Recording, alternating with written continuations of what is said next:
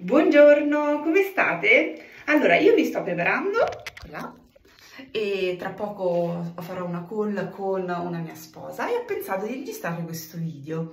Perché? Perché spesso si fa confusione dal ruolo da bride stylist abbinato alle wedding planner. Eh, spesso noi collaboriamo insieme e posso dire che queste due figure professionali insieme funzionano benissimo e e quindi non c'è nessun tipo di rivalità uh, assolutamente tra di noi. Abbiamo due ruoli completamente diversi. Ma adesso passo a voi, le mie spose. Allora, cosa facciamo durante la call?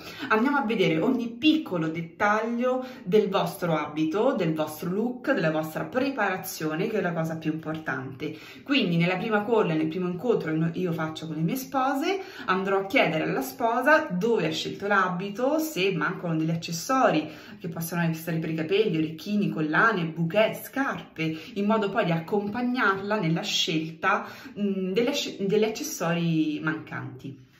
Dopo aver parlato di accessori, di abito, tutto quello che serve alla sposa per completare il suo look, il suo, il suo abito, il suo stile, eh, vado a chiedere qualche informazione in più sul giorno della preparazione, quindi l'assistenza al giorno delle nozze, quindi chi è il truccatore, chi è il parrucchiere, eh, chi è il fotografo, in quale villa, in quale cerimonia, se è vita civile o rito religioso, qual è la location che ovviamente andrà poi a utilizzare per festeggiare sua, il suo matrimonio eh, chi saranno gli accompagnatori o l'accompagnatore, se ci sono damigelle, paggetti, se bisogna fare un coordinamento per l'ingresso alla cerimonia. Quindi vi spiegherò un pochino come funzionerà tutta la parte della preparazione in location o a casa della sposa, di cosa mi occuperò io, se poi anche la sposa sarà disposta a affiancarsi totalmente al mio servizio. Cosa significa? Ci sono spose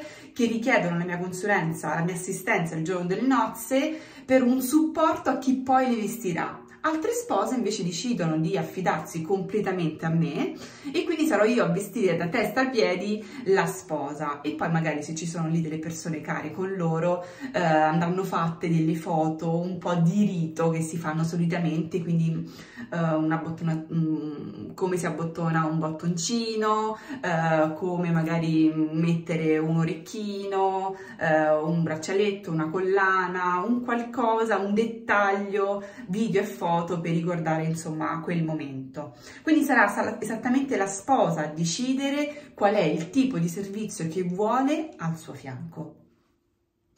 Adesso, passata la preparazione, ovviamente spiegherò che la sposa non sarà mai abbandonata, sarò io a aiutare la sposa ad entrare in macchina, quindi sistemare il suo velo, sistemare il suo bouquet, sistemare suo, mm, la sua coda, il suo abito, tutto. E poi ci incontreremo, sarò io andare con la sposa, in base un pochino anche alle distanze tra location e cerimonia, e andare in macchina con la sposa oppure io prenderò la mia macchina e andrò poi al, al, al, alla cerimonia e sarò lì ad aspettare la sposa. Quindi io mi coordinerò anche con l'autista della sposa in modo che fotografo, io, wedding planner nel caso in cui ci fosse, siamo pronti ad aspettare la sposa per la cerimonia.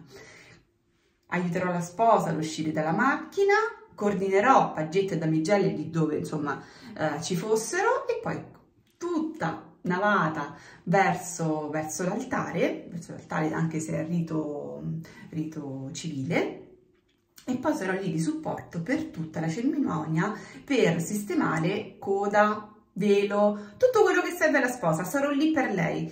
Uh, specifico sempre alle mie spose, nei momenti importanti, che può essere lo scambio delle fedi, che può essere la promessa, che possono essere altri momenti della cerimonia, non stiamo lì a vedere come sta la coda, come sta il velo, assolutamente no. Io sono lì di supporto sempre con lei, sempre in coordinamento con il fotografo e con il videomaker, in modo che tutto sia sempre immortalato nel modo giusto. Quindi state tranquille, state serene. Io resto lì fino alla fine della cerimonia, poi ci sono spose che decidono di farsi assistere anche durante gli scatti fotografici per avere il suo abito o la sua coda sempre impeccabile eh, ma possono essere anche un piccolo ritocco, non so, rossetto, sei lucida mettiamo un po' di cipria, togli e metti il velo, acchido al bouquet, faccio il cambio di scarpe, per poi arrivare fino al, alla parte finale del matrimonio che è quello della, della torta, quindi anche lì se c'è un cambio d'abito e serve un supporto, ci sono io. Bisogna sciogliere i capelli? Ci sono io, non sono una make artist, non sono una parrucchiera, ma ho molta manualità. Non vado a sostituire queste due figure importantissime per la sposa, ma posso essere un supporto. Qualsiasi cosa scrivetemi e così magari vi do altre informazioni. Vi auguro buona giornata.